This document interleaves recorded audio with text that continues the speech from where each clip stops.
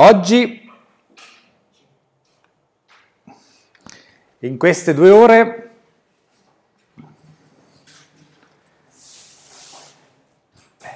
parliamo di... Faccio un passo indietro, aspettate un attimo.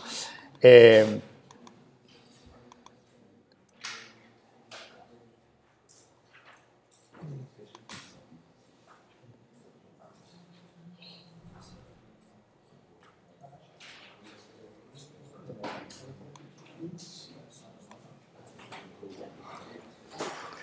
Allora, prima di dirvi cosa facciamo oggi, vediamo a che punto siamo arrivati in questa architettura. Siamo ovviamente molto indietro, eh, ma pian piano andiamo avanti. Allora, quello che abbiamo visto essenzialmente le ultime due volte, escludendo il feedback sui progetti, è stato come far parlare un computer, l'altra volta avete avuto un accenno di Raspberry, con le Philips Hue, che sono uno dei dispositivi, e come farle parlare con dei dispositivi Z-Wave, martedì. Non abbiamo visto e non vedremo eh, come parlare con il Fitbit, nel senso che il Fitbit ha delle API REST cloud che rispondono con un JSON esattamente come eh, le Philips Hue ed esattamente come Z-Wave, quindi lo stesso meccanismo che abbiamo utilizzato eh, si utilizza anche per qualunque altra piattaforma HTTP REST che fornisca delle API. E, ehm, con la differenza ulteriore che nel caso del Fitbit davvero voi parlate col cloud, quindi non avete operazioni in locale da fare. Non c'è il bottone da premere come nella Philips Hue, non ci sono i dispositivi da associare come nel caso Z-Wave. Semplicemente voi parlate col cloud. Come queste informazioni di Fitbit arrivino al cloud, possono arrivare perché l'inserita a mano da un'applicazione o dalla pagina web di Fitbit o eh, possono arrivare in automatico dal braccialetto che sarà associato al, via Bluetooth a un telefono dove ci sarà l'applicazione standard di Fitbit, quindi non c'è niente di, di, particolare. In più, se non sbaglio, ad applicazioni web, l'ultima volta che abbiamo parlato, diceva che avrebbe fatto vedere lui come recuperare alcuni di quei dati dalla piattaforma cloud e come mostrarli in una pagina web. Quindi in parte dovreste vederlo lì e degli altri dispositivi che sono elencati qui nella home station ci sono delle casse, ma le casse si possono attaccare via jack e sono mm, un dispositivo per fare della musica o per eseguire un file audio qualunque, come su un computer normale. Quindi oggi proviamo a allontanarci un attimino dalla home station, eh, nel senso che qui nella home station ci sarà poi un programma, ipoteticamente Java, che scriverete voi, che farà quello che dovrà fare il vostro, che seguirà la logica del vostro, del vostro progetto e che da una parte appunto parlerà con i dispositivi nei modi in cui abbiamo accennato e con l'altra eseguirà la logica propria del progetto. E questo programma poi dovrà parlare via MQTT con un server. Questo server avrà due componenti. Una è Mosquito, che però è un software che è un broker MQTT, è un software già fatto, è solo da configurare e utilizzare, non c'è niente da programmare lato server per Mosquito, e avere un'interfaccia REST, quindi un server HTTP, che per chi farà il progetto di web, di, di progetto con re, eh, applicazioni web, potrebbe anche essere fatto in uh, .NET. Quella parte qui, la parte nel server, la parte diciamo identificata nel cloud. Mm? Non ci mettiamo a far girare un, uh, un, un software .NET su Raspberry, su Linux, mm? su Raspberry e con Linux.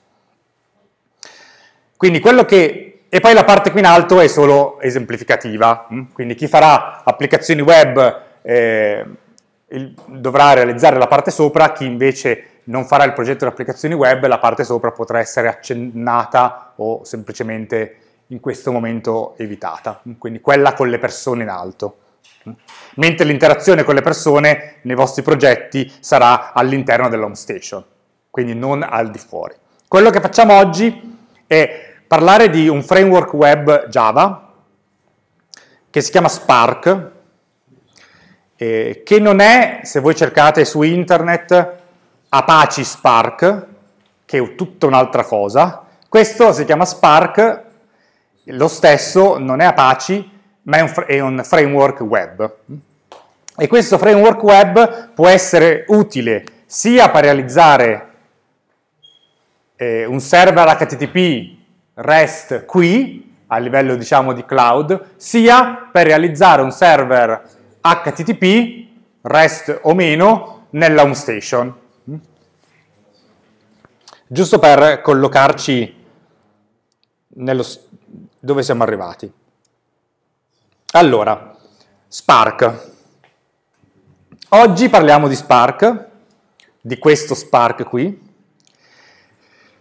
L'idea è, in un'ora, un'ora e un quarto, di darvi un'introduzione a Spark e provare a realizzare alcune chiamate, eh, alcune API REST con Spark insieme, col supporto di IntelliJ, e poi nell'ultima mezz'ora, 45 minuti, farvi provare a estendere quel server REST con altre chiamate, con altre due o tre API.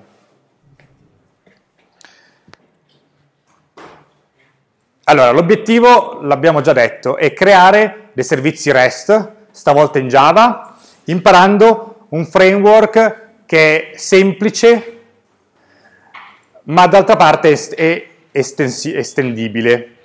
Per semplice intendo che Spark è definito come un micro framework. Voi sapete cos'è un micro framework? o che cosa cos'è altro rispetto a un microframework?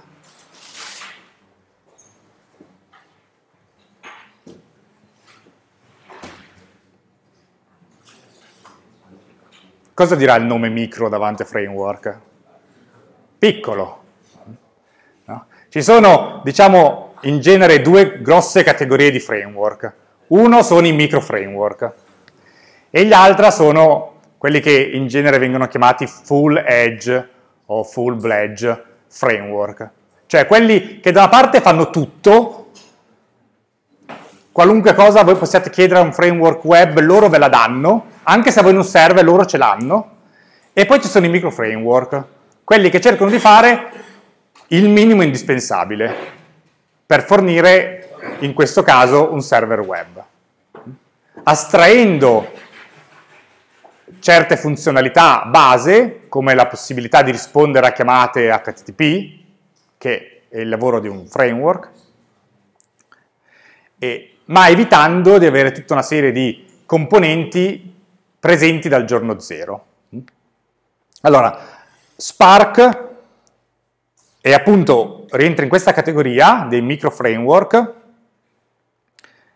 e la loro frase pubblicitaria è un micro framework per creare applicazioni web in Java 8 col minimo sforzo. Nel senso che Spark non funziona con Java 7, innanzitutto, e Spark è principalmente utilizzato, secondo anche gli stessi creatori, per creare server web con API REST. Quindi non tanto per creare siti web normali, ma per API REST. Se voi andate a vedere sul sito, mm, e in realtà nella frase pubblicitaria hanno aggiunto in Kotlin, perché hanno, stanno realizzando anche la versione Kotlin di questo micro framework. Se voi andate a vedere in fondo,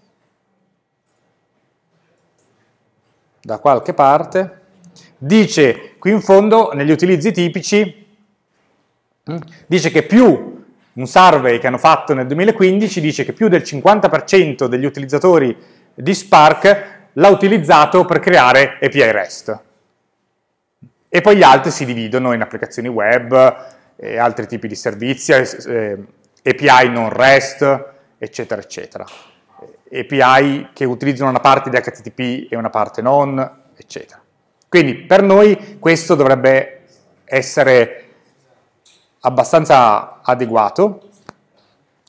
È un micro framework, quindi ha alcuni componenti al suo interno, ovviamente, per esempio supporta le sessioni, supporta i cookie, supporta i redirect, le cose base che qualunque server, che qualunque framework dovrebbe avere, ma non supporta, per esempio, cosa che altri framework molto più ampi hanno dal giorno 1, un, un motore per fare il templating di pagine HTML, quindi scrivere Java all'interno di pagine HTML e poi avere il tutto renderizzato.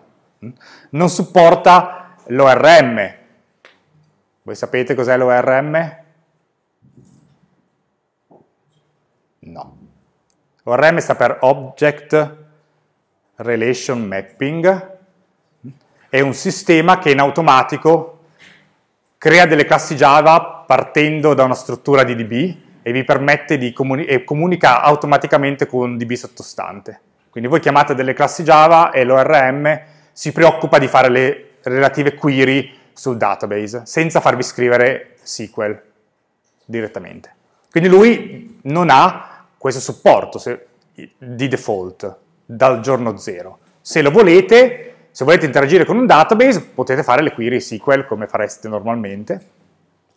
Quindi non ha tutta questa serie di pacchetti insieme al framework, ma è estendibile, nel senso che sia gli sviluppatori, sia del, di Spark, sia altri, hanno poi realizzato delle estensioni di Spark per aggiungere tutte queste funzionalità. Allora la differenza è quasi più una differenza, diciamo, eh, chiamiamola filosofica. In Spark voi scaricate il framework piccolo e poi aggiungete i componenti che vi servono quando vi servono. Nei framework grossi, per esempio Spring, se vogliamo rimanere in ambito Java, voi vi scaricate tutto. Poi non vi serve l'ORM e l'avete scaricato, essenzialmente non vi serve l'HTML templating engine perché volete fare delle API REST, l'avete scaricato, l'avete lì, gira insieme al vostro programma, nessuno mai lo chiamerà, ma l'avete. Questa è una filosofia opposta. ogni, quello che volete dovete cercarvelo e scaricarvelo. Noi, per quello che, che, faremo, per quello che farete nei progetti, ci basta ovviamente la parte eh, standard, del, del, framework. Poi se volete essere più comodi a fare alcune operazioni, per esempio l'operazione al database, potete scegliere di scaricare il pacchetto per l'ORM, ma altrimenti le potete fare come avete fatto finora, qualunque chiamata a un database, eh, qualunque interazione con un database in Java. Hm? Che avete fatto nella vostra vita, sì? Sì? No? In Java? No. Bene. E, e che database avete usato per interagire qualunque da qualunque altro linguaggio di programmazione? MySQL? Postgre? Ok. Va bene, ci arriviamo. E, allora, come si installa, Gra eh, come si installa Gradle? Come si installa Spark? O si scarica il jar e lo si inserisce nel programma, oppure si può usare Gradle, oppure si può usare Maven.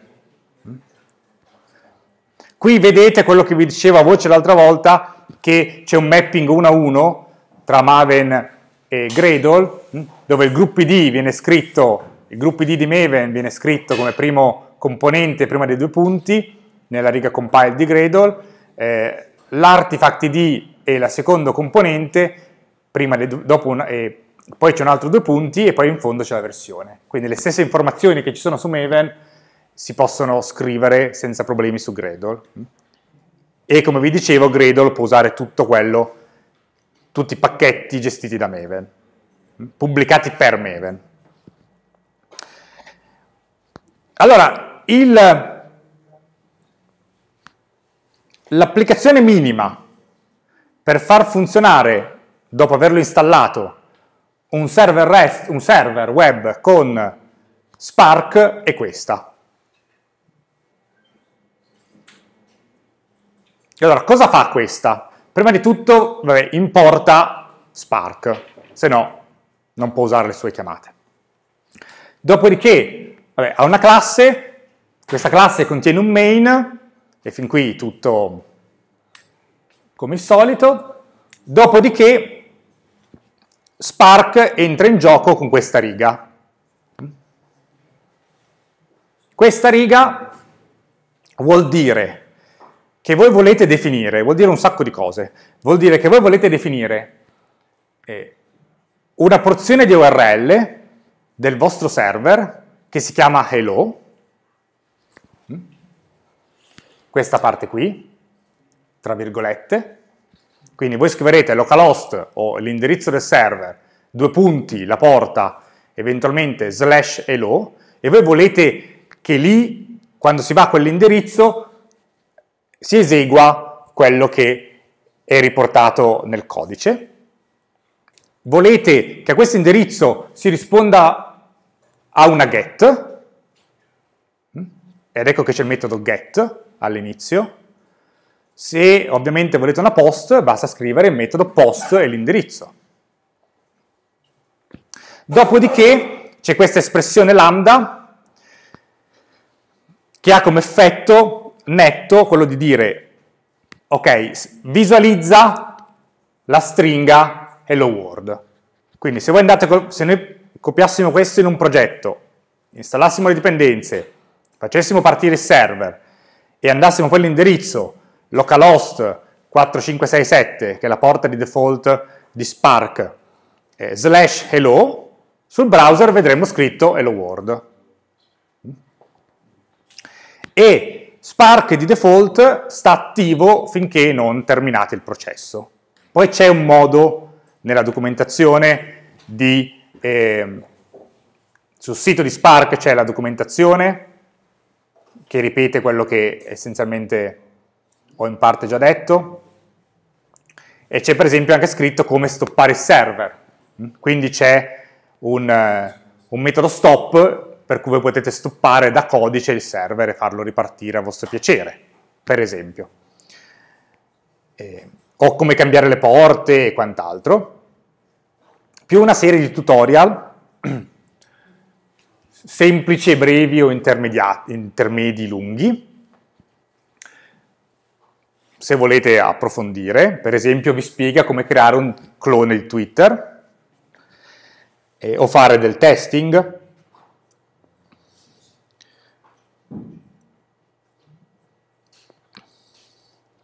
Ma al di là di tutto questo, il server appunto sta acceso finché non terminate il processo, che nel nostro caso anche, è anche il desiderata, perché voi vorreste che il vostro progetto sia nell'home station sia nel cloud, quello che chiamiamo cloud, che in realtà è solo un altro server, eh, giri finché non avete più bisogno.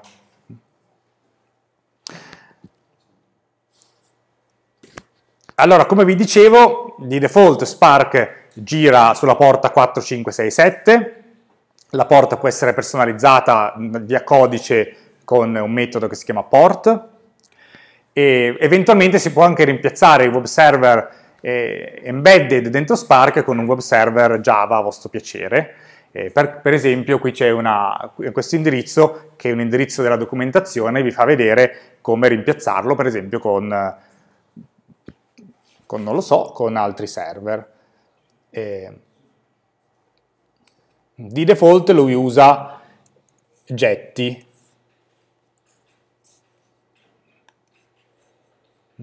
Qui c'è tutta una serie di istruzioni su come rimpiazzarlo, come attivare HTTPS, eccetera, eccetera, eccetera. Se aveste un certificato e così via.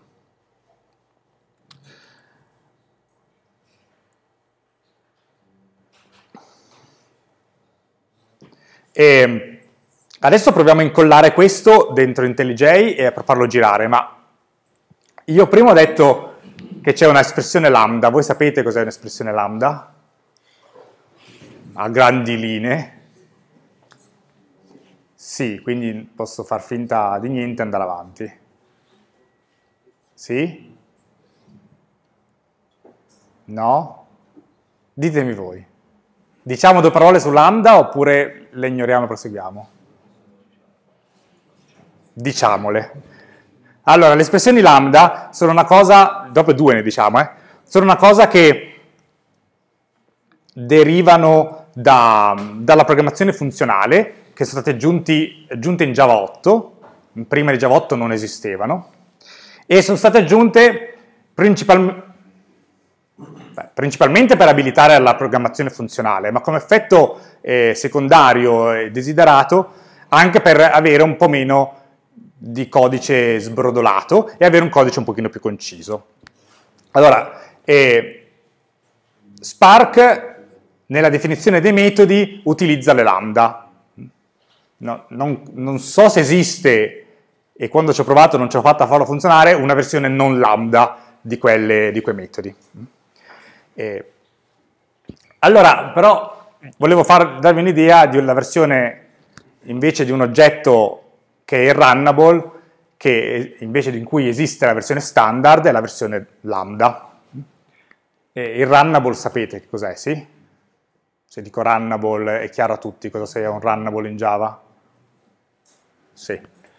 Quindi il modo standard di definire il runnable è quello net, se non volete implementare una classe apposita, ma farlo nel codice, e lo definite, il new runnable, a quel punto il runnable ha un metodo dentro, obbligatorio, che è run, e all'interno del metodo run fate quello che vi serve da, da eseguire in un thread separato? Tipicamente. Allora, in questo caso, vedete che scrivete new runnable, poi compare il public void run, e dentro, in questo caso, scrive system out, eh, print line, hello world 1.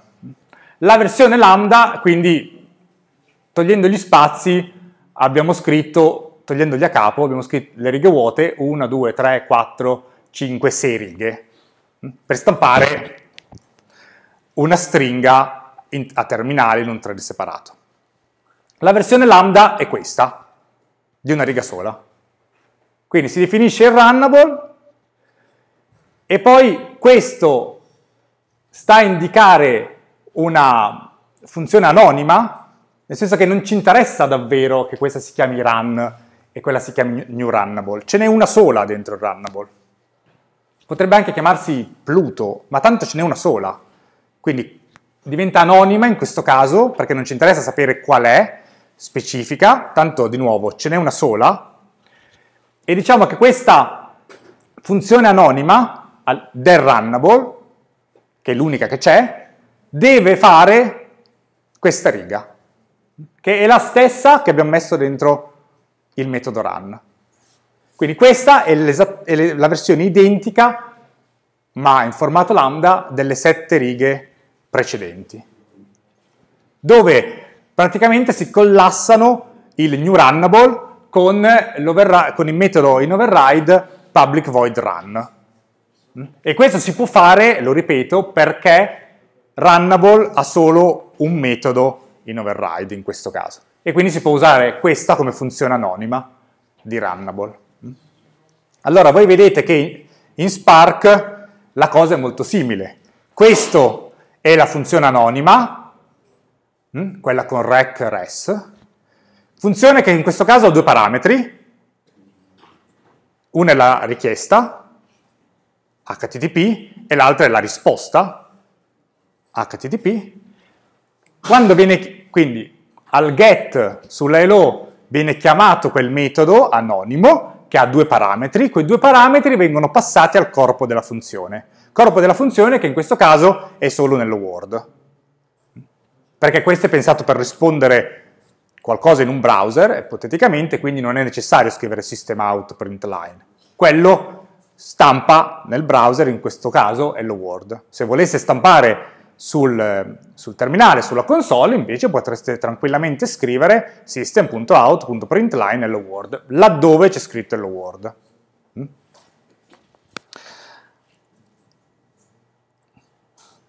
Allora, prima di provare a incollare quel progetto di partenza dentro IntelliJ, voi vedete sempre in Spark ogni URL che volete definire.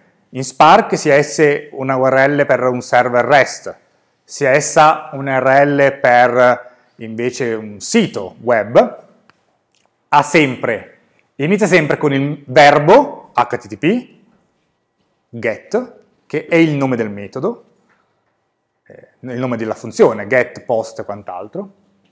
Dopodiché c'è la URL a cui la risorsa sarà visibile, come prima hello, in questo caso è direttamente nella root.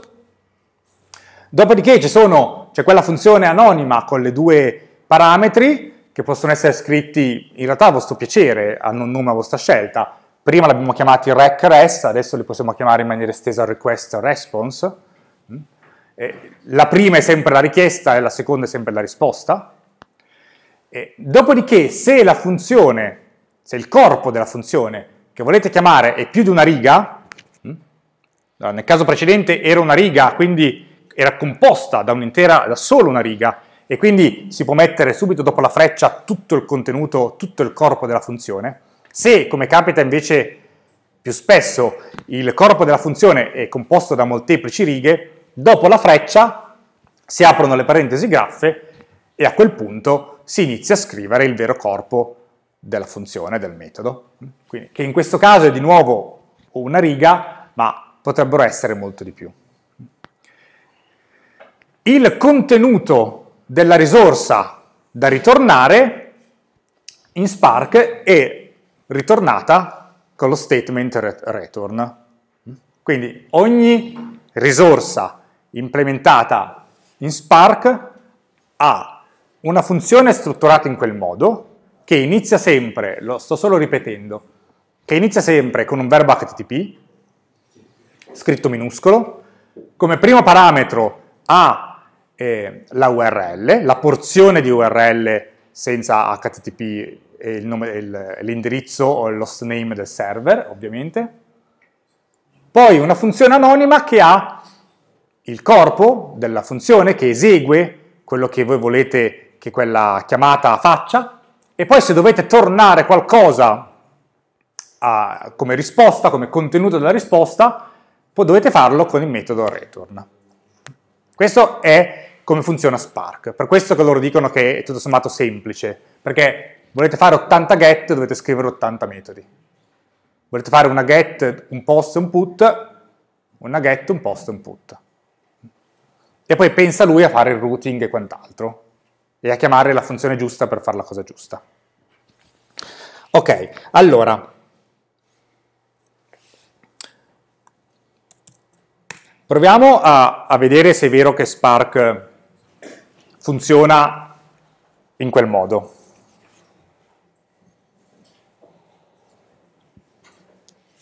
Ritentiamo con IntelliJ, sperando che stavolta di aver imparato.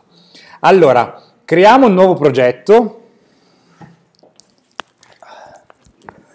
un progetto Gradle Java, come l'altra volta, gli possiamo dare di nuovo un gruppo ID, io gli do sempre it upo reti 2 e come artifact ID possiamo dargli getting started, giusto per perché facciamo solo un esempio semplice con Spark adesso.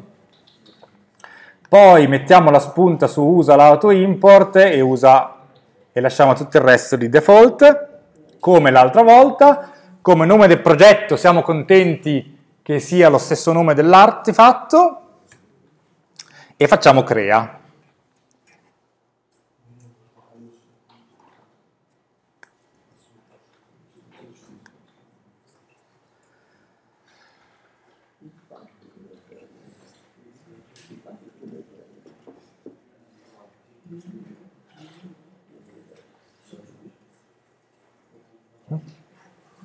A questo punto, come l'altra volta, Gradle parte e inizializza tutto.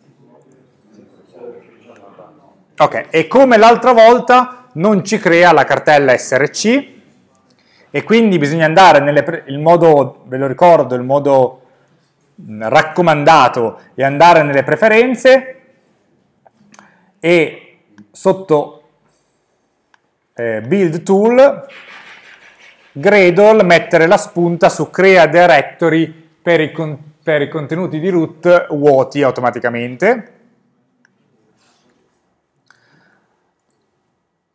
a quel punto riparte Gradle e dovremmo avere il, la cartella source collegata col source set di Gradle.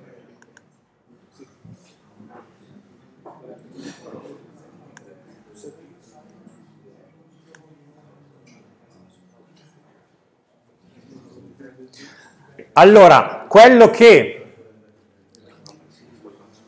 quello che dobbiamo fare adesso è aggiungere la dipendenza eh, di Spark in modo che venga scaricata e compilata quando ci serve.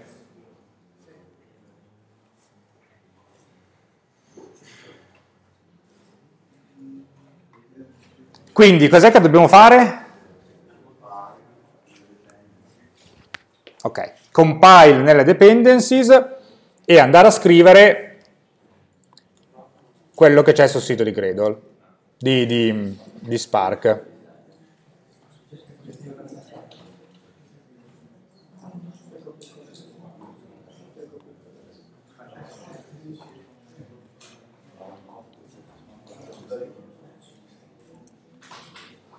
essenzialmente. Quindi compile tra virgolette com.sparkjava, due punti sparkjava trattino core, due punti, la versione, l'ultima versione, la 272. Allora, a quel punto, eh, IntelliJ, quando si modifica il build.gradle, fa partire un altro processo di build in automatico,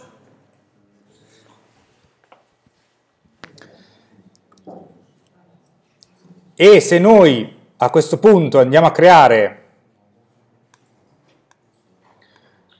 eh, sotto src main java una nuova classe java che chiamiamo hello world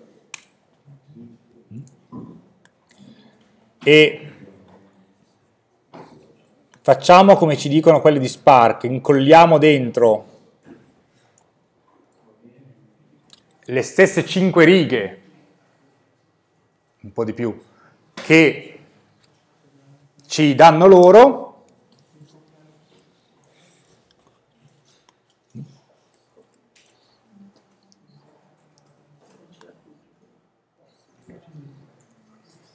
dovremmo aver ottenuto il nostro web server che usa Spark e che all'indirizzo hello ci risponda hello world con una get. Eh, notate che IntelliJ eh, vi abbina a fianco a alcune, eh,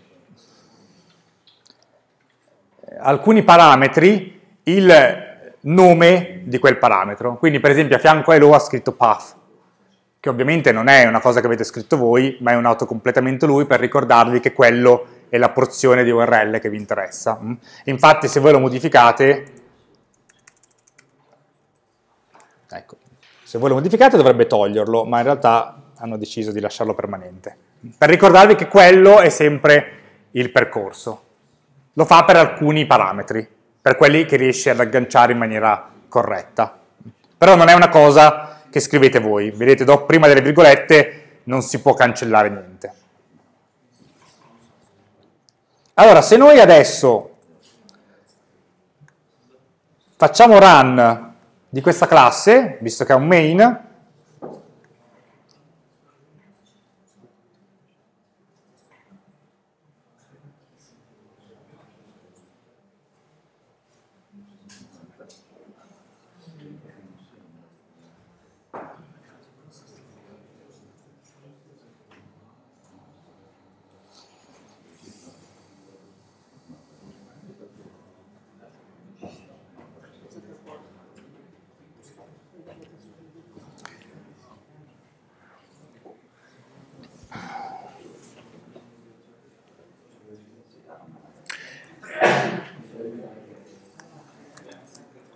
e apriamo un browser alla porta 4567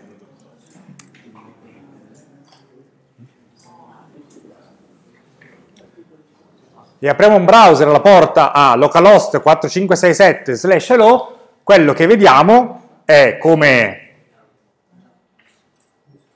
ci aspettavamo una pagina web in cui dentro c'è solo scritto come testo hello world. Quindi appurato che Spark funziona. E quando lanciate Spark vi lancia questi tre, eh, questo warning, mm, eh, che essenzialmente dice vi manca un logger e quindi io non so cosa, come loggare sulla console. Mm. Nell'esempio che faremo aggiungiamo lo stesso logger che ci raccomanda lui SLF4J, e così invece del warning vediamo per esempio che il server web è partito, vediamo per esempio una, che chiamate abbiamo fatto, se è arrivata una get, se è arrivata una post, se c'è stato un errore, se ha risposto 404, 500 internal server error, vediamo qualche comportamento che il server ci fornisce indietro. E questo lo facciamo tramite Gradle. Quindi il server rimane acceso, come ho detto, finché non lo spegnete voi, quindi interrompendo il programma si interrompe anche il server.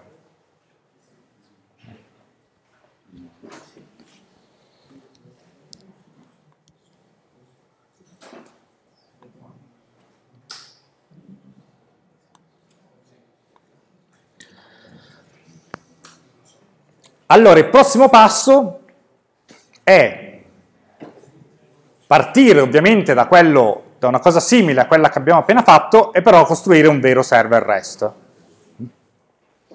Allora, per provare, eh, ovviamente ci serve un qualcosa da restituire da questo server. Allora, per provare nell'esempio che, che faremo adesso, proviamo a costruire un server REST che restituisca e permetta di aggiungere una serie di cose da fare, una sorta di task manager molto molto di base. Quindi vogliamo realizzare un server con Spark che prima di tutto sia collegata a un database per avere questa lista di task e per eventualmente aggiungere o cancellare dei task. Quando viene chiesto un task da aggiungere o da, o da visualizzare, il task ha due campi. Uno è il contenuto della cosa da fare e il secondo campo è se il task, se la cosa da fare è urgente oppure non è urgente. Memorizzata come 1 o come 0, quindi come intero e in quello che faremo noi, eh, noi vorremmo fare tre API, una per mostrare un singolo task, una per mostrare tutti i task e una per creare un nuovo task. Aggiornare un task e cancellare un task le lasciamo momentaneamente da parte, hm? giusto per partire con tre esempi. Quindi se ricordate dalla parte eh, REST che abbiamo fatto un mese fa, mostrare un singolo task vuol dire usare il metodo HTTP,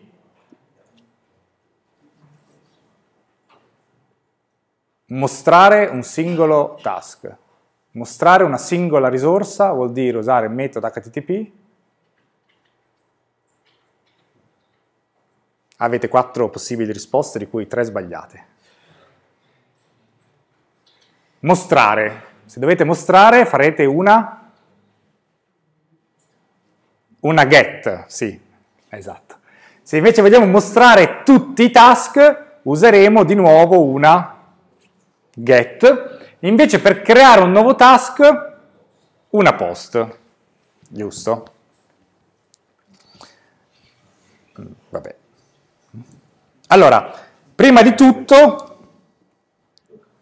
eh, prima di tutto, nella costruzione di un API REST, dobbiamo identificare qual è la risorsa e come si chiama questa risorsa?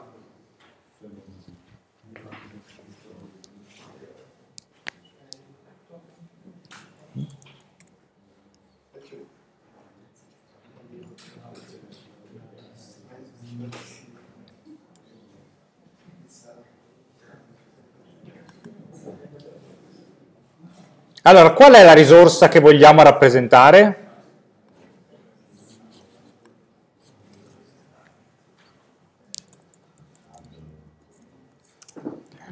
Qual è la risorsa che vogliamo rappresentare?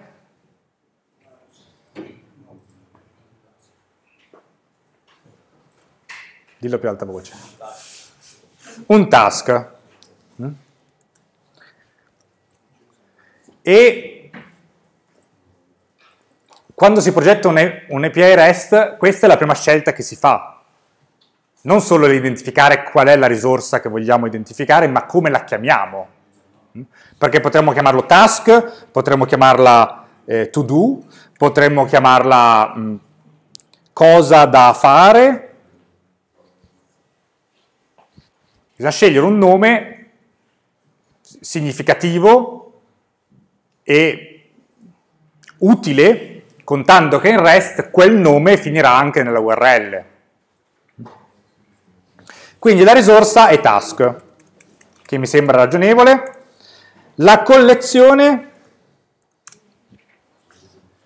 voi ricordate che in REST c'è una risorsa e poi si accede alle collezioni di quella risorsa e la collezione si chiamerà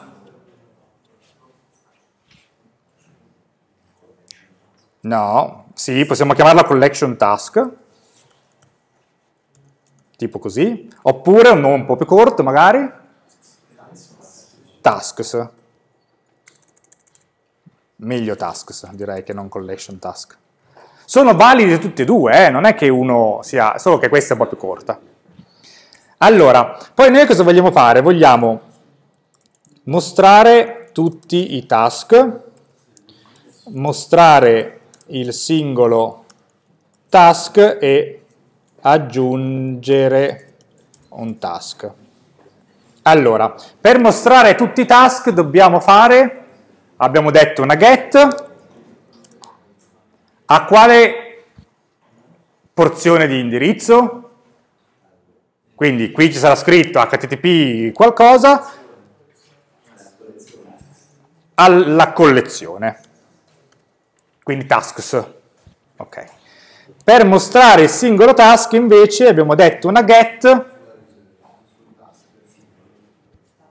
quindi scrivo slash task, No. Cosa scrivo? Sì, quindi? Tasks slash l'id. Esatto. 1, mm? 5. Quindi il nostro task avrà un contenuto che non usiamo come id, un campo urgente che di nuovo non usiamo come id e ovviamente un, un identificativo, che sarà qui, ma guarda caso sarà anche l'id del database, per esempio. E e dobbiamo passare qualcosa a queste due get nella richiesta?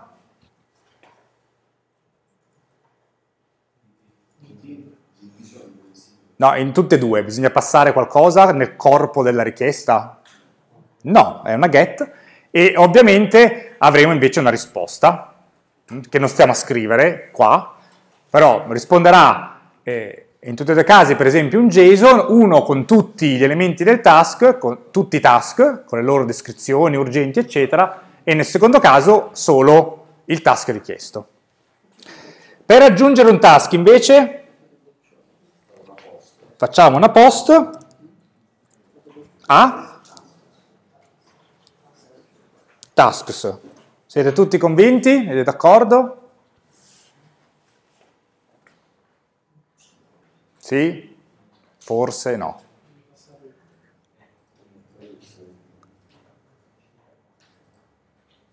Chi è che dice che è giusto? Nessuno. Qualcuno ha detto tasks, quindi eh, chi è che dice che è sbagliato? Nessuno. Dobbiamo passare un ID di cosa?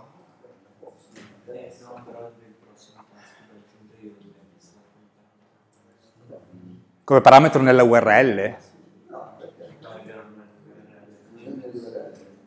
Ma poi ah, sicuramente questo ha un, ha un a un corpo della richiesta che per esempio avrà dentro eh, description eh, qualcosa e urgent eh, 1.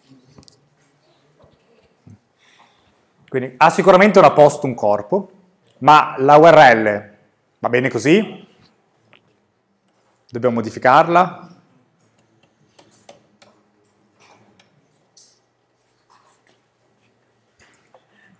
È, è più facile di così.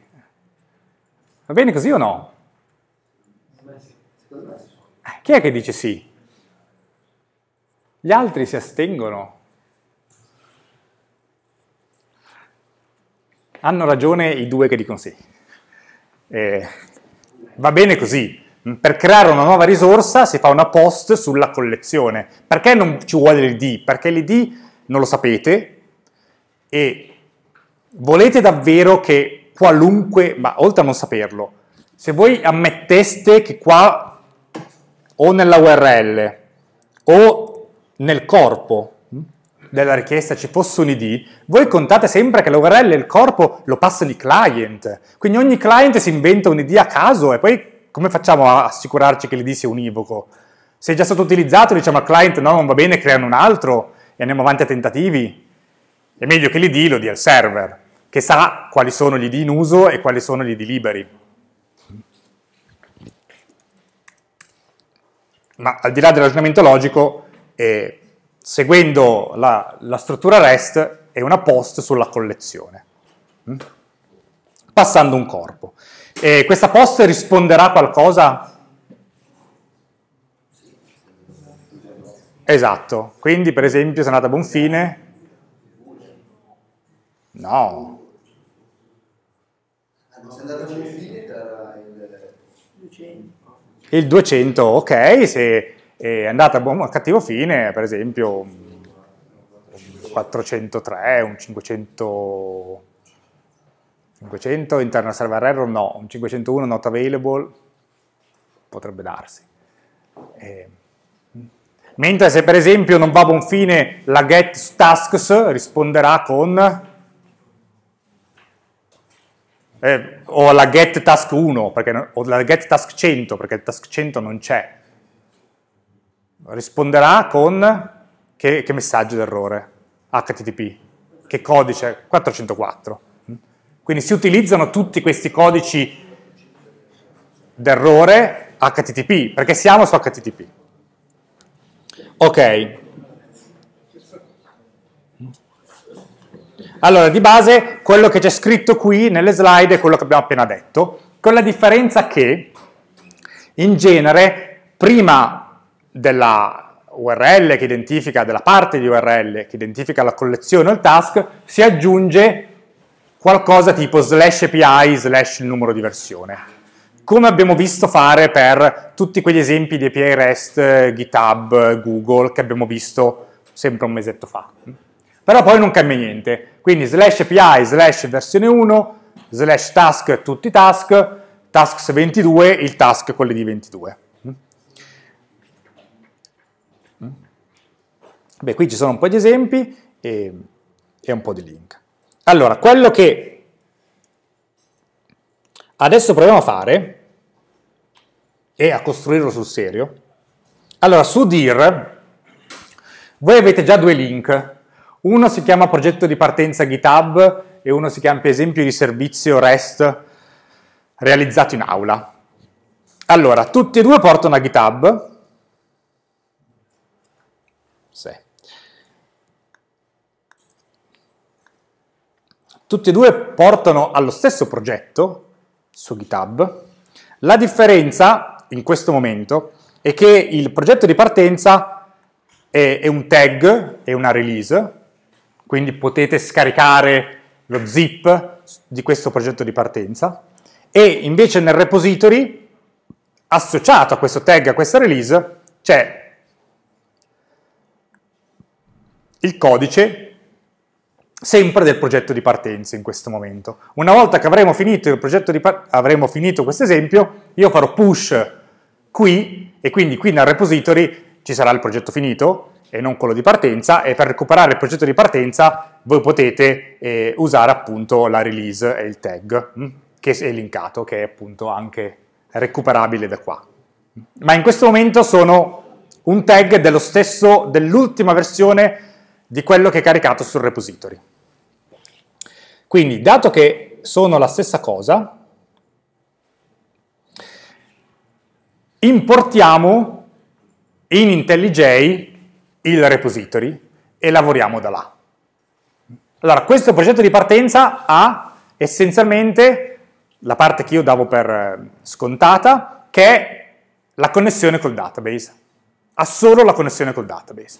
Quindi fa le query, fa due select e un insert. Per prendere tutti i task, per prendere un singolo task e fare un insert per aggiungere un task. Un database di una tabella, tre colonne, l'id che viene assegnato da solo, la description che è il contenuto del task e il campo urgent. Non è niente di... Però a questo punto diamogli un'occhiata. Allora, per importare un progetto GitHub in IntelliJ, oltre ad aprire IntelliJ, si va su Checkout from Version Control e si sceglie Git. Quindi Checkout from Version Control, Git, perché volete importare un progetto Git. A quel punto lì si inserisce, qui, prima riga URL, si inserisce la URL del repository, che da GitHub recuperate dal bottone clone or download, potete prendere la versione HTTPS se non siete loggati, se siete loggati anche la versione SSH e incollarla in quel campo. E poi vuole sapere la directory in cui andare a salvare il progetto su disco. In questo caso il progetto si chiama Spark REST e lui lo mette su disco in un progetto che si chiama Spark REST. E a me va bene così. Poi si prema clone e vi chiede se volete creare un progetto IntelliJ partendo da quello che avete clonato. E la cui risposta 9 volte su 10 è sì. A questo punto vi chiede, volete creare un progetto da sor dalla sorgente esistente oppure creare importare un progetto da un modulo esterno, che è il modo complicato per dire selezionate importa progetto da modulo esterno e poi Gradle, perché se no non viene un progetto Gradle, essenzialmente. Quindi fosse un progetto Java semplice andrebbe bene anche il primo, il primo, eh, il primo bottone, ma dato che è un progetto Gradle, dobbiamo abilitare tutta la parte di Gradle. Quindi selezioniamo Gradle da qui sotto, o fosse un progetto Eclipse, lui lo convertirebbe da Eclipse al suo formato attraverso questo secondo meccanismo di import. Quindi noi selezioniamo Gradle e mettiamo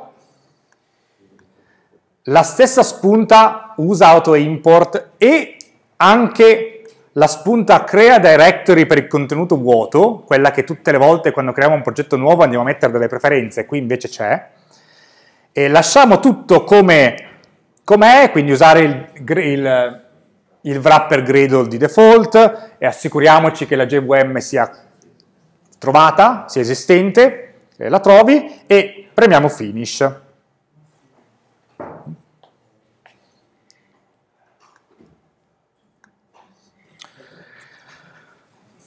Come prima, Gradle ci pensa, macina un po', In questo caso scaricherà anche una dipendenza eh, che è il connettore per il database.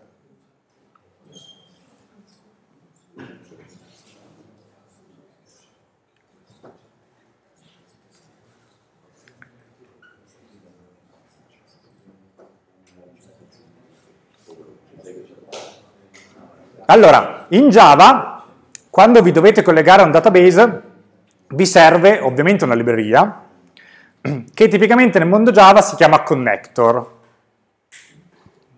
e c'è un connector diverso per ogni database.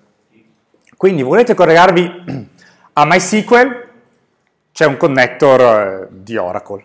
Volete collegarvi a MariaDB, si può usare lo stesso connector di Oracle, perché tanto sono compatibili al 99%.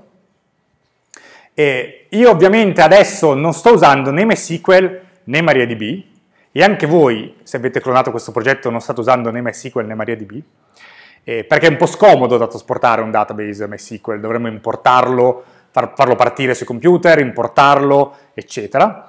E quindi per praticità, visto che è, è un database piccolo ed è un esempio, e anche i vostri progetti poi saranno relativamente piccolo, piccoli, usiamo SQLite. Avete mai sentito parlare di SQLite? Sì, no.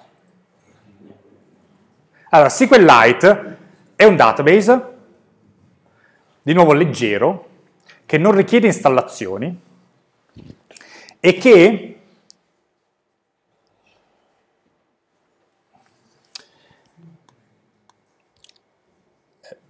memorizza tutto in una cartella che non ci fa vedere.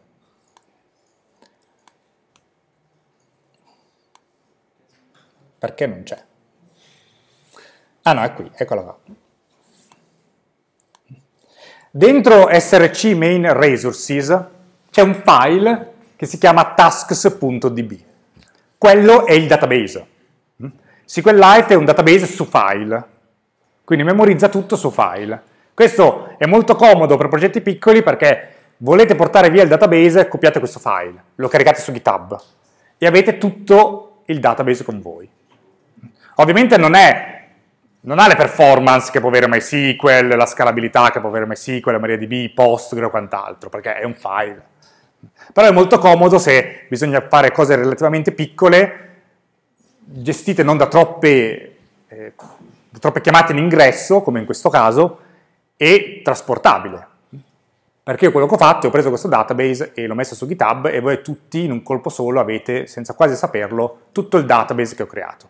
In IntelliJ e in tutti i prodotti eh, JetBrains c'è un, un, tab database che io ho a fianco e se voi non lo vedete potete andare in View, eh, Tool Windows e selezionare Database che vi permette di vedere il contenuto di molti tipi di database all'interno dell'ambiente di sviluppo e modificarlo anche.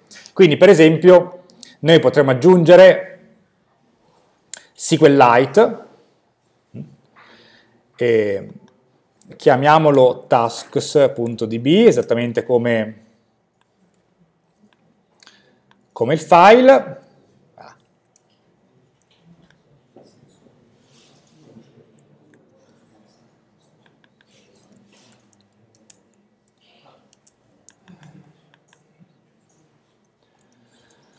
Allora,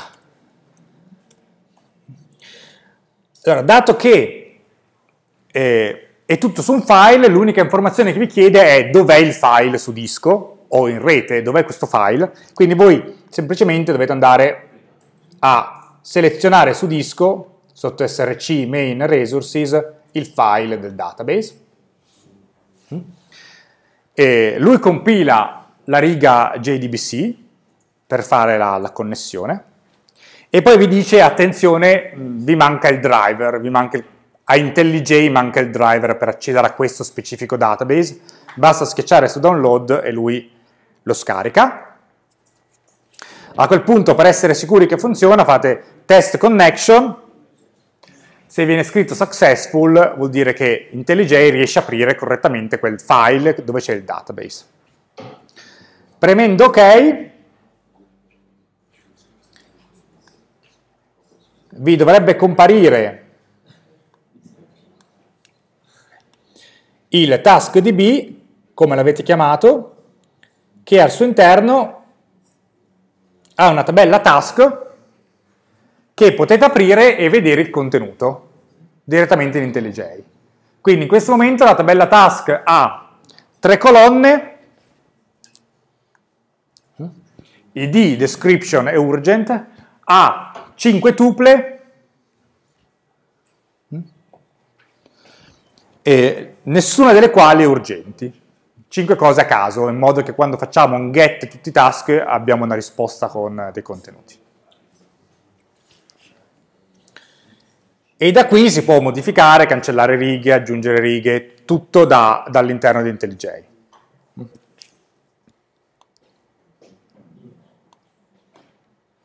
Ok, a questo punto il progetto è composto da quattro classi. Una si chiama Task Service ed è vuota, ha un main solo, ed è quella dove andremo a realizzare il nostro progetto con eh, Spark. Quindi questa al momento la chiudiamo.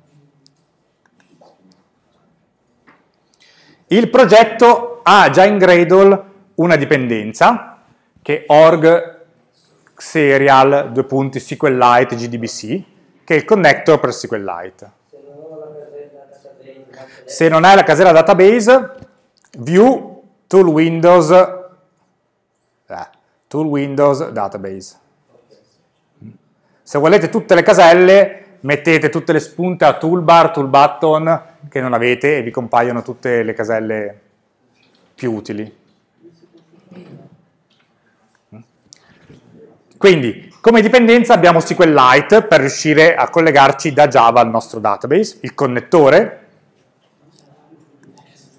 Dopodiché abbiamo tre classi, i cui nomi dovrebbero essere eh, abbastanza autoesplicativi. Una si chiama task. Cosa ci sarà nella classe che si chiama task?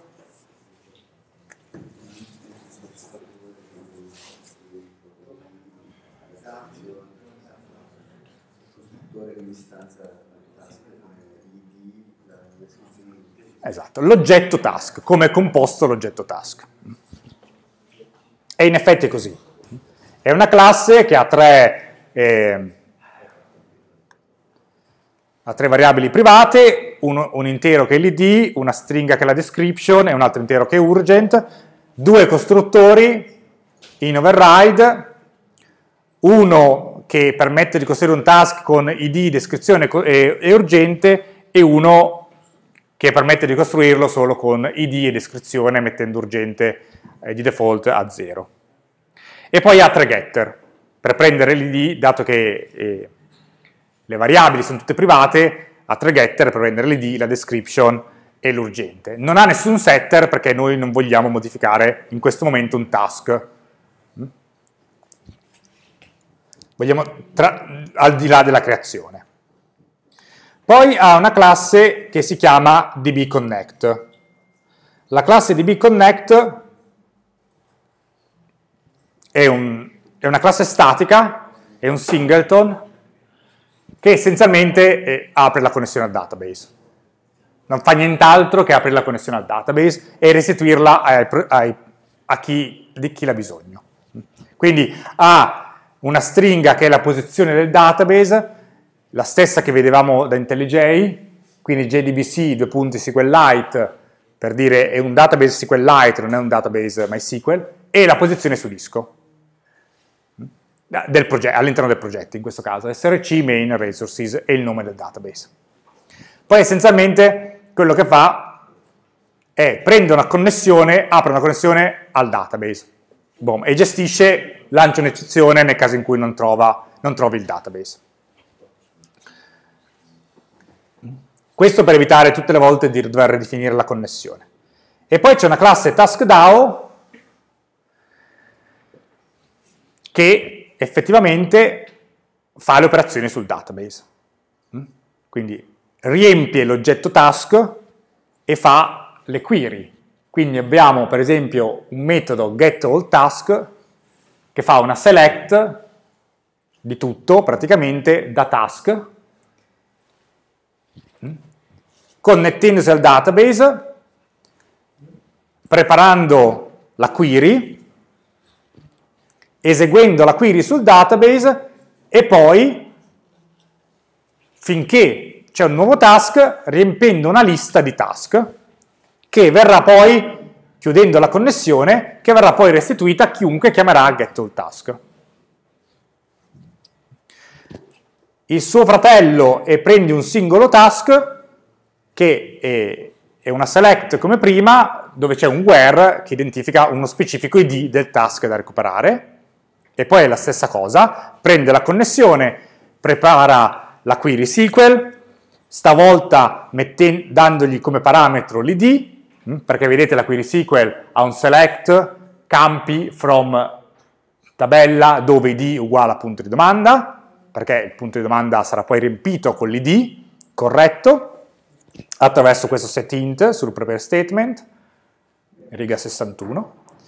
Poi esegue la query, e prende il risultato, che ci aspettiamo essere almeno 1, ed essere u, scusate, al più 1, e con quel risultato crea il task.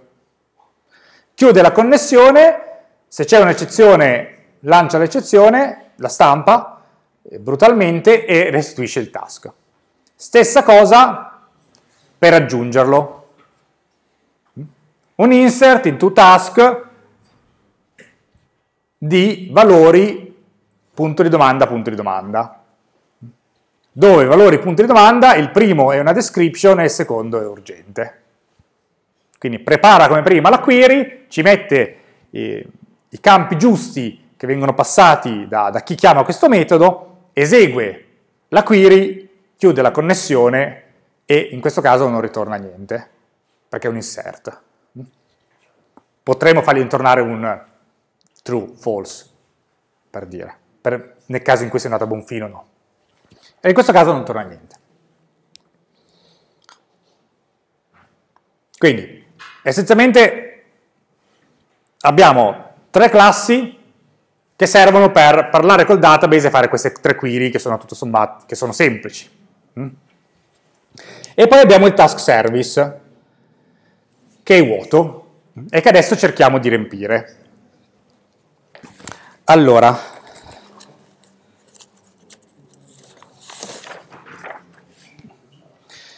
allora, prima di tutto dobbiamo importare nel Gradle le librerie che ci servono, che sono quelle di prima. Quindi abbiamo da Spark, che ho chiuso, e dobbiamo aggiungere un compile com.sparkjava, due punti Spark Core, due punti 272.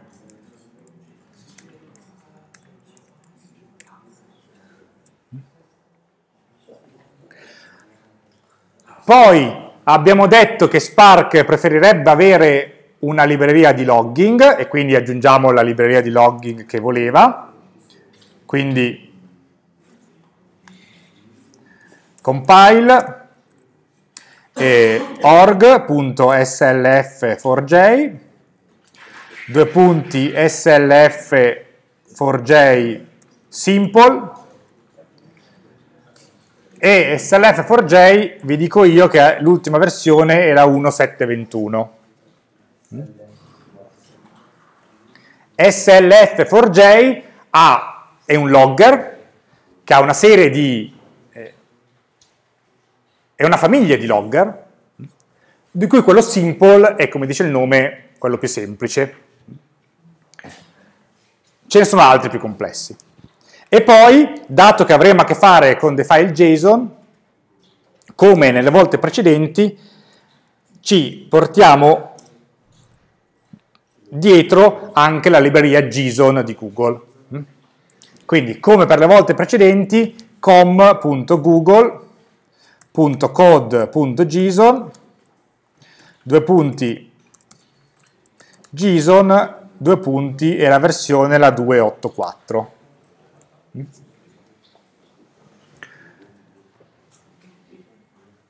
Ci va anche bene, non l'abbiamo fatta apposta, ma va anche bene che Spark ovviamente è compatibile con JSON come libreria, è una delle librerie per gestire il JSON che supporta. Quindi le prime due righe c'erano già, abbiamo aggiunto Spark, abbiamo aggiunto SLF4J e abbiamo aggiunto JSON. Quindi il server web, il framework web, il logger e la libreria per parsificare e produrre JSON.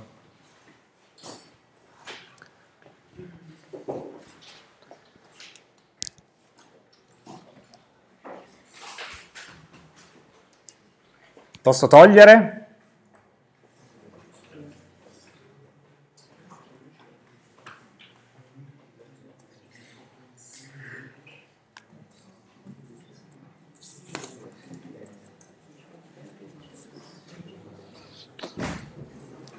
Allora,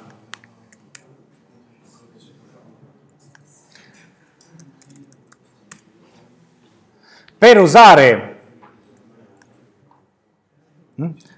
Eh, Spark dobbiamo, possiamo partire da quello che abbiamo fatto, da quello che c'è sul sito,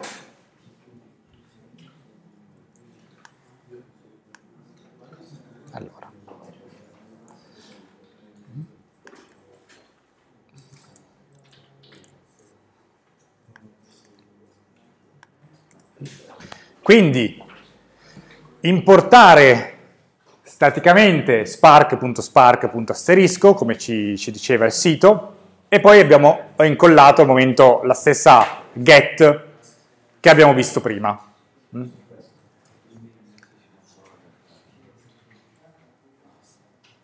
Che, che ovviamente non ci andrà bene, dovremo modificare. Allora, siccome eh, dovremo scrivere un, ehm,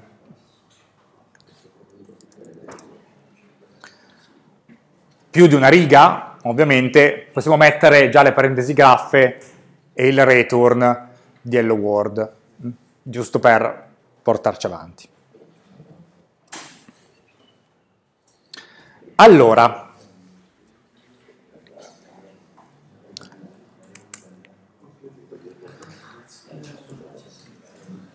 Prima di tutto inizializziamo un po' di cose hm, che ci serviranno. Allora, per esempio, inizializziamo JSON.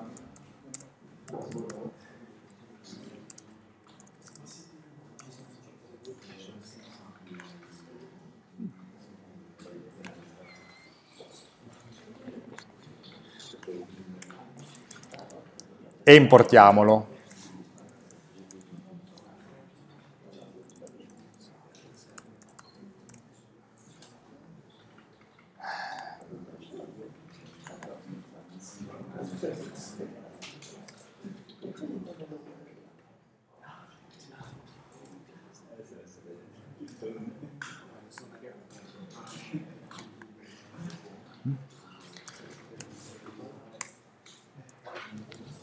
Quindi creiamo giusto un oggetto che chiamiamo JSON come new JSON, senza parametri, senza niente. Poi definiamo una base URL, quella API versione 1, come stringa,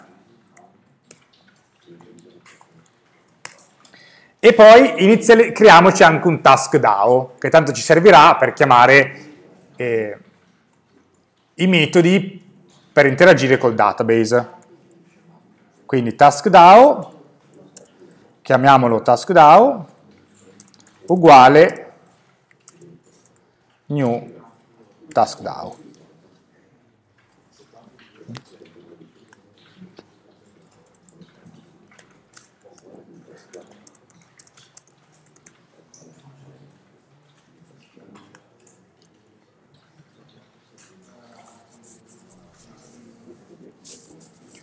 Allora, a questo punto iniziamo con la prima API. Iniziamo con prendo tutti i task. Quindi ci va bene una get, come percorso dobbiamo scrivere, come abbiamo detto prima, tasks. Occhio che però abbiamo detto di appendere prima di ogni chiamata REST API versione 1. Quindi semplicemente base URL più task.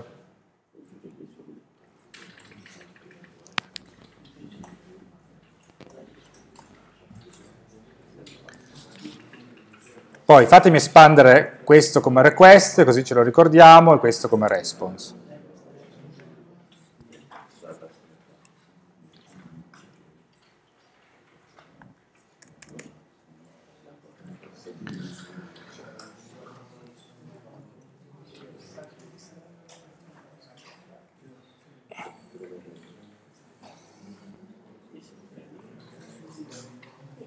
Allora,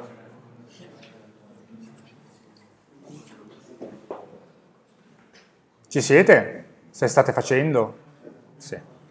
Allora, cosa dobbiamo fare qui?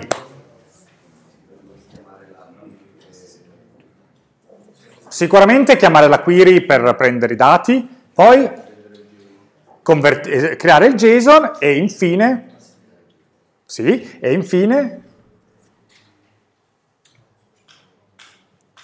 riempire la risposta in maniera corretta. Allora, innanzitutto noi abbiamo, eh, la risposta sarà un JSON, quindi la prima cosa che facciamo è prendiamo l'oggetto response e gli andiamo a impostare il tipo.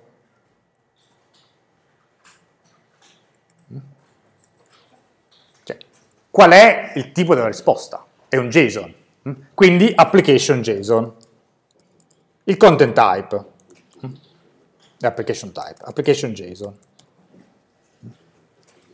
Questo stesso content type, visto che lavoriamo con i JSON, va anche messo prima della variabile anonima. Quello è l'accept type. Ora, in questo caso, essendo una get, non è strettamente necessario definire l'accept type, perché non mandiamo niente. Però facciamolo sempre, così ce lo ricordiamo, sempre di farlo. Quindi, dopo il percorso, definiamo qual è la, il tipo che accettiamo, in questo caso il JSON. Dopodiché nel corpo della, del metodo definiamo il tipo della risposta e auspicabilmente possiamo anche definire lo status, lo status code della risposta, che se tutto va bene sarà 200. Mm? Il 200 key di HTTP. A questo punto, come diceva giustamente, come ti chiami? Riccardo, eh, possiamo chiamare il, ehm, il metodo per recuperare i task dal database. Mm? Quindi il metodo è, è un metodo di task DAO e si chiama getAllTasks. Questo metodo restituisce una lista di task. Quindi memorizziamo il risultato. Quindi una lista di task che chiamiamo per esempio allTasks, così.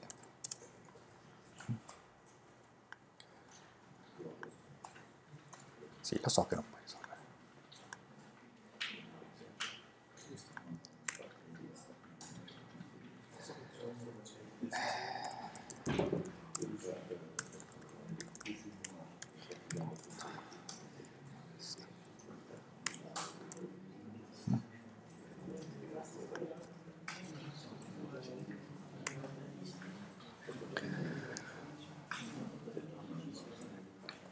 A questo punto abbiamo impostato la risposta, preso tutti i task, mm,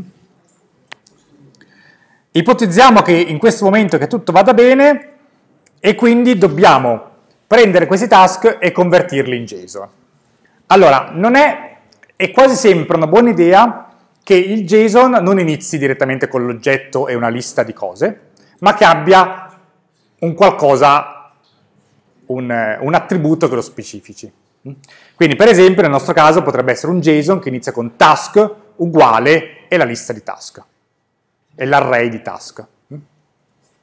Quindi dobbiamo prendere questa lista di task e metterla in una struttura dati, almeno in una struttura dati, che assomigli a un qualcosa che contiene una coppia chiave-valore.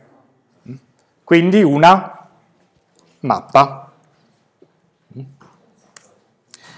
Eh, una mappa in questo caso di stringhe liste di task, che è l'oggetto di prima, che chiamiamo per esempio final JSON.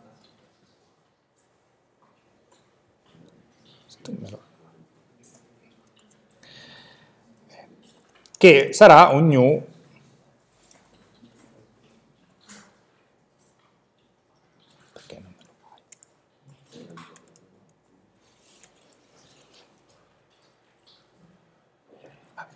un new è una nuova hash map, per esempio.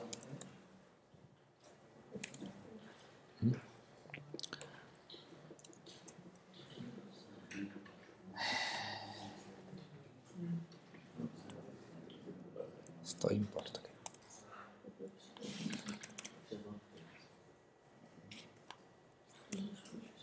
Mm?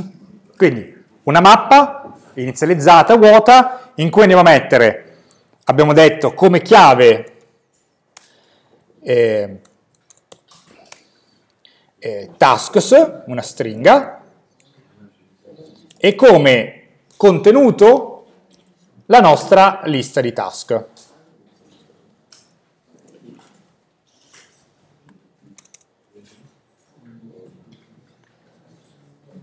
A questo punto noi dovremmo prendere questa mappa, convertirla in un JSON e ritornare il JSON. Mm? Quindi fatemi iniziare a scrivere return final JSON, che nel nostro caso è la mappa, perché invece di convertirla puntualmente nel codice, lo facciamo fare a JSON. JSON in automatico è capace a prendere delle strutture dati di default di Java o delle strutture dati delle classi, fatte a vostro piacere e annotate opportunamente, eventualmente annotate, e convertirle in un JSON in automatico. Allora, dato che questa è una mappa ed è una lista, e dentro la lista ci sono stringhe e interi, quindi non roba particolarmente strana e finisce subito lì, JSON è capace a convertirlo in automatico. Per dirgli per favore converti in automatico, subito dopo la parentesi graffa che chiude il corpo della funzione, basta scrivere JSON, due punti, due punti, due volte due punti, to JSON. Mm? Questo, metodo, questo, è un metodo dell'oggetto JSON che abbiamo inizializzato prima ed è un metodo, voi potete anche chiamarlo nel codice e passargli un argomento e recuperare la stringa e ritornare la stringa che, che restituisce JSON. Questo è l'equivalente di scrivere qui, praticamente JSON.toJSON eh, di mm, final JSON, eccetera, eccetera, eccetera, recuperare l'oggetto e restituirlo. E l'equivalente è scriverlo lì, ma fa tutto da solo.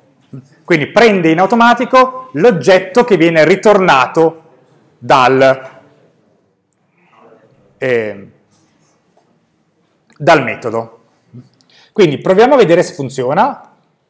Innanzitutto, Quindi facciamo un run del main,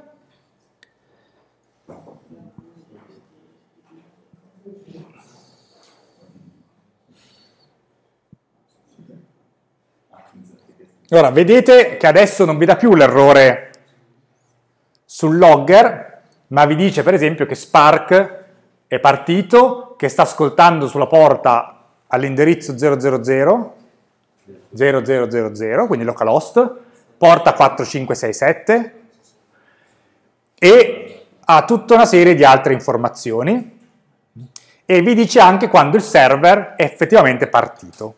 Quindi started vuol dire che è effettivamente partito. Quindi se noi adesso apriamo un browser e andiamo, vabbè, ovviamente a localhost hello ci risponde 404 perché non c'è più, e andiamo a localhost 4567 slash API slash versione 1.0 slash tasks vediamo, eh, questo qui io ho un plugin di Chrome che, che mi formata il JSON, ma, eh, e quindi appare solo più, più bello, ma eh, vediamo il JSON. Vediamo che il nostro JSON parte con tasks, che è esattamente la parola chiave, la chiave che abbiamo identificato, ha poi un array JSON con i nostri 5 task, ognuno con l'id, la descrizione e il campo urgent. E questi 5 task sono gli stessi che sono nel database.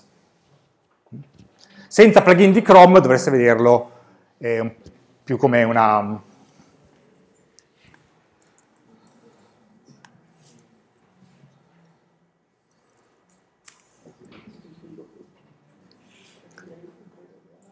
più così, mm, diciamo, in teoria. Dove però c'è il JSON che parte, la chiave l'array che inizia e il primo oggetto che è il primo task.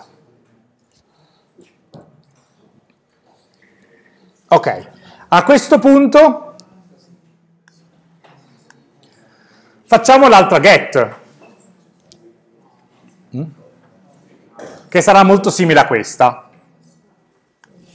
Quindi copiamo questo, così almeno le cose comuni le abbiamo già fatte,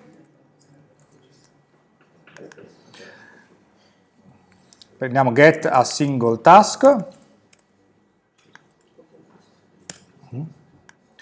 la nostra URL stavolta sarà task, due, due task e poi ci serve l'id. Allora, come facciamo a dire a Spark di prendere il numero o il valore che sarà nella URL e passarlo al, al corpo della funzione, di prendere solo il primo valore, che è quello che ci serve, che è l'id, lo facciamo con due punti, in questo caso id. Quindi due punti, nome di una variabile, nome di qualcosa, che vogliamo poi riutilizzare nel codice. Quindi nel codice riutilizzeremo la parola id per recuperare effettivamente quello che si trova dopo tasks. Dopodiché, come prima, accetta un application JSON e questo lo possiamo al momento cancellare, no. E quello che dobbiamo fare, ovviamente non prendiamo tutti i task, ma cancelliamolo, facciamo prima. Non ci serve prendere tutti i task, stavolta dobbiamo da task DAO fare un get del singolo task. Mm? Giusto? Questo singolo task avrà un id, che è quell'id che vorremmo prendere da qui sopra. Come facciamo a prendere questo id da qui sopra? E lo prendiamo dalla richiesta. Quindi request eh, che parametro vogliamo? Vogliamo il parametro identificato da due punti id.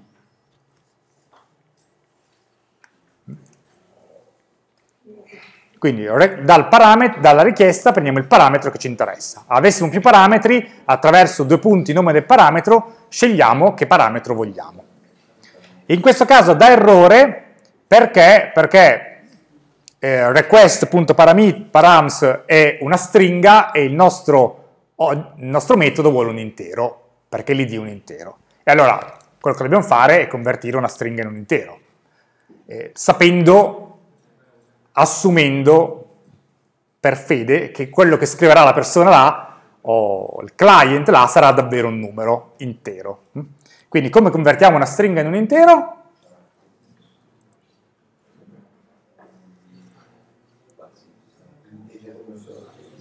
Ho sentito un pezzo giusto. Integer punto value of.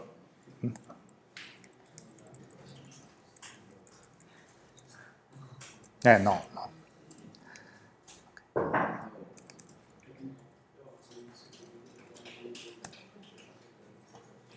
Questo metodo getTask ci restituisce un task. Quindi task, task uguale il metodo.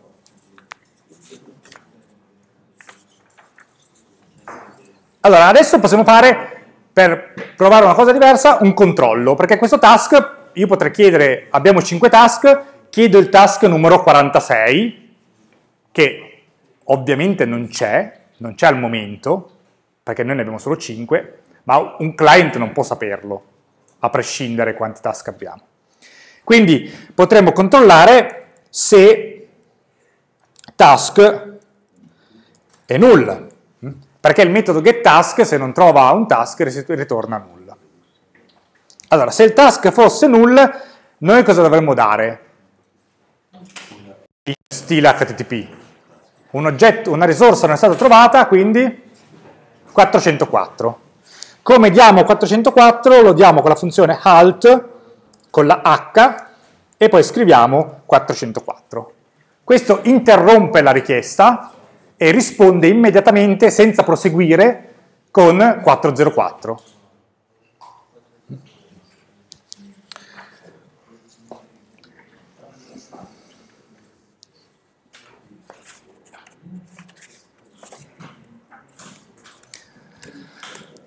A questo punto possiamo fare quello che abbiamo fatto prima.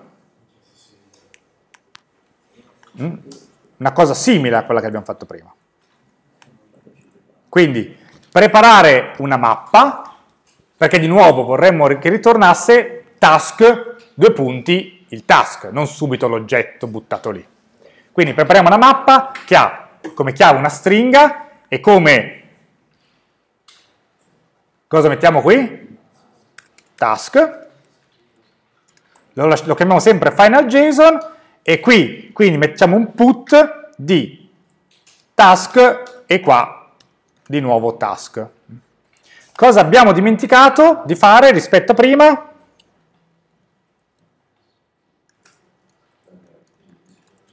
Impostare la risposta. Quindi response.status eh, 200 mm, e response.type eh, sempre application JSON.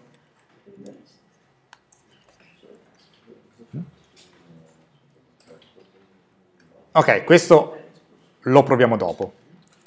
Di conseguenza questo, questa mappa